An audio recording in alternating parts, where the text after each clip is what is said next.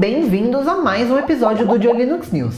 No episódio de hoje tem novidade do Google, do Cadea Plasma, da System76, só coisa boa. E falando em coisa boa, deixa eu te apresentar uma novidade sensacional. O OnlyOffice é uma suíte de escritório de código aberto muito popular, mas hoje eu vou te mostrar o mais novo produto deles, o OnlyOffice DocSpace. O DocSpace é um espaço de trabalho colaborativo que você pode utilizar independente do seu tipo de trabalho.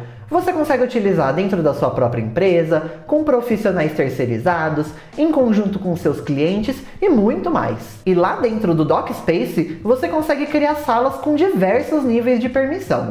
Uma pode ser apenas de visualização, outra só para revisão, uma outra só para preencher formulários e muito mais. O OnlyOffice DocSpace permite trabalhar com diversos tipos de documento ao mesmo tempo. Você consegue trabalhar com texto, com planilhas, com apresentações, com PDF, com formulários e até mesmo com arquivos de vídeo se você precisar. E com o OnlyOffice DocSpace é garantido que as suas informações vão estar seguras. Além de poder gerenciar as permissões da maneira que você desejar, também é possível gerenciar a força da senha dos usuários, permitir autenticação de dois fatores, restringir o acesso a determinados IPs e você também pode ficar em paz, porque todos os dados confidenciais são criptografados utilizando o padrão AES 256. Então clica no primeiro link aqui na descrição para saber todos os detalhes do OnlyOffice DocSpace e testar gratuitamente.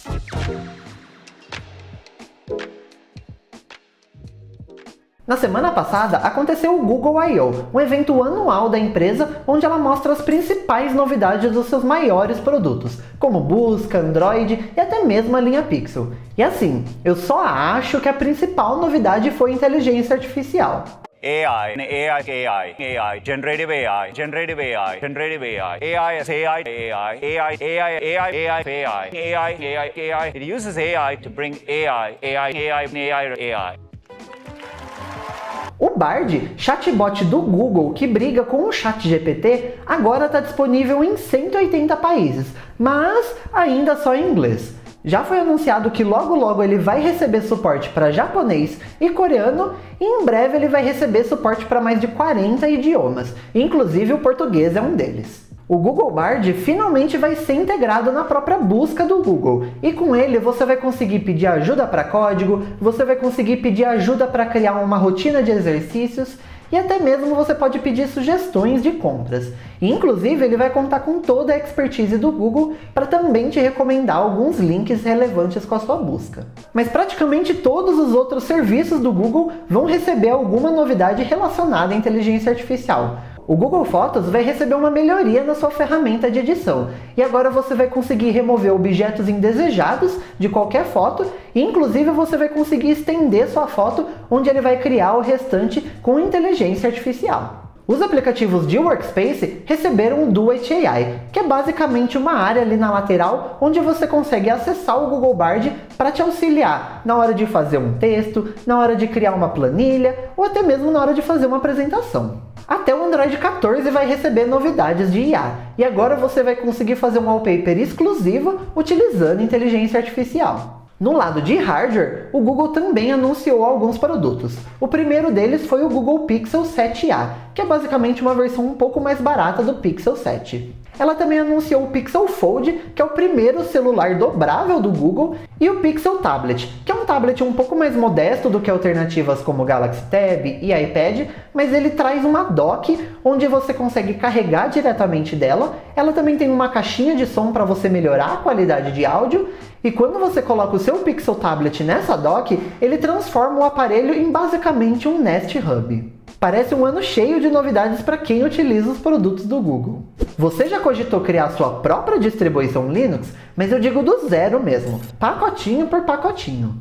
Parece uma tarefa complicada, né? E realmente você está certo, não é uma tarefa fácil, mas ainda assim é possível. Para te ajudar nessa jornada, a gente preparou em parceria com o Slack Jeff um curso de Linux from Scratch, onde ao longo de 49 aulas você vai aprender a fazer uma distribuição Linux para chamar de sua, literalmente. Inclusive, durante essa semana aqui no Linux, a gente está preparando uma série de conteúdos sobre a criação de sistemas operacionais. Então fica ligado em todas as nossas redes sociais. A comunidade do KDE está trabalhando pesado na próxima versão do Plasma e a gente vai ver uma série de mudanças no comportamento padrão do sistema. Agora, para abrir pastas e arquivos, o padrão vai ser um clique duplo ao invés de um único clique. Isso foi feito para que os usuários que estão migrando de outras plataformas, como é o caso do Windows, fiquem mais confortáveis com isso, já que é o padrão de lá. Mas é claro, se você já está acostumado com um único clique para abrir os arquivos e as pastas, você consegue alterar isso normalmente. Cada vez a gente vê mais distribuições e interfaces gráficas empurrando o uso do Wayland, e aqui, é claro, não vai ser diferente.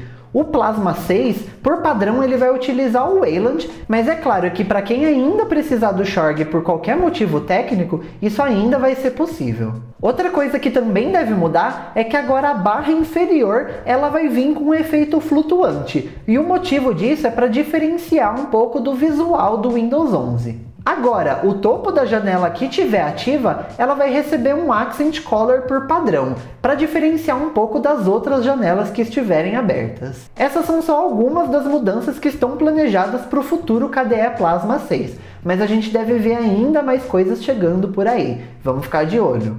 Como muitos de vocês já devem saber, a System 76 está preparando uma nova interface gráfica para o Pop OS chamada Cosmic. Todo mês eles anunciam algumas novidades dessa nova interface e esse mês não foi diferente. A primeira novidade está no System 76 Scheduler, que acabou de chegar na segunda versão. Basicamente, ele é um software que gerencia os recursos da máquina e distribui para cada aplicativo conforme ele precisa. Por exemplo, se você está navegando na internet através de um navegador e resolve abrir um jogo, ele vai pegar esses recursos que estavam sendo utilizados no navegador e distribuir eles para o jogo. Assim você não vai ter uma experiência ruim, um jogo engasgando, enquanto o computador fica gastando os recursos com um navegador que está em segundo plano. Na versão 2.0, ele traz alguns novos recursos, como uma maior integração com o Pipewire para reduzir os riscos de stuttering de áudio, como por exemplo no caso de um aplicativo estiver tocando um áudio em segundo plano, como um player de música, por exemplo. Agora, as barras do sistema podem ser completamente customizadas graças ao Cosmic Panels. Basicamente, você pode adicionar ou remover os botões de aplicativos, áreas de notificação, botão de desligar o sistema e mudar eles completamente de lugar na barra. E não só isso, mas a barra em si pode ser posicionada em qualquer lugar. Por padrão, ela fica lá na parte superior, mas você pode colocar ela na esquerda e você consegue inclusive deixar ela menor, sem ocupar todo o espaço de ponta a ponta. A área de configurações também tem novidades. Ela está sendo construída de maneira modular. Isso quer dizer que não só é mais fácil para System 76 adicionar novas funcionalidades ao longo do tempo, mas ela também vai trazer uma API que permite que qualquer desenvolvedor adicione novas áreas dentro das configurações do sistema, o que deve trazer toda uma comunidade de desenvolvedores para o sistema operacional. Esse mês teve bastante novidades incríveis e o melhor, com imagens para matar nossa curiosidade. Bora pro Drops? Para quem ainda assim não está contente com o novo Twitter, o Mastodon segue sendo a principal alternativa nesse mercado. Mas o maior problema do Mastodon segue sendo, sem dúvida, a parte de criação de conta, já que você precisa minimamente ter uma noção do que é um servidor federado e uma instância mas o Mastodon finalmente está trabalhando para resolver esse problema. Agora, no aplicativo oficial do Mastodon, ele traz uma nova tela de onboarding, onde por padrão ele sugere um mastodon.social como instância para você se cadastrar, já que é a instância do criador do Mastodon e ela também tem um foco mais generalista. Mas é claro, se você não quiser, ainda assim você pode logar em qualquer instância. Já faz nove anos que a Microsoft comprou a Mojang, a empresa responsável pelo Minecraft, mas foi só em 2021 que ela começou a unificar a conta Mojang com a conta Microsoft. Já era possível há alguns anos você comprar o Minecraft utilizando só a sua conta da Microsoft, mas até hoje, se você tem uma conta um pouco mais antiga, você ainda consegue logar só utilizando a sua conta da Mojang.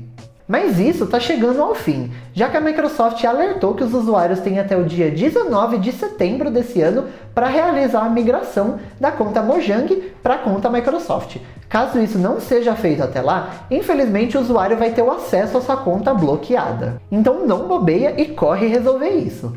Curte jogos de exploração e uma gameplay numa pegada Metroidvania? Então talvez você vai curtir o Unsighted, que inclusive é um jogo criado por um estúdio indie aqui do Brasil. Nesse jogo, você controla a Alma, uma autômata que acorda em um mundo completamente arruinado depois da guerra contra os humanos.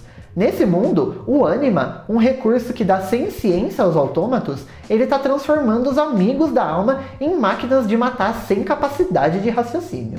O jogo ele está com 50% de desconto lá no Steam, saindo por apenas 25 reais. Ele inclusive é verificado no Steam Deck e está com ranking platina lá no ProtonDB. É basicamente só baixar e jogar. E se você quiser receber ainda mais notícias do que aconteceu no mundo da tecnologia e do open source, é só você se inscrever lá na nossa newsletter, em diolinux.com.br/newsletter. Sabia que o nosso curso de Linux from Scratch já está disponível? Aqui do lado você pode conferir a primeira aula que está disponível de maneira completamente gratuita. Eu te vejo lá!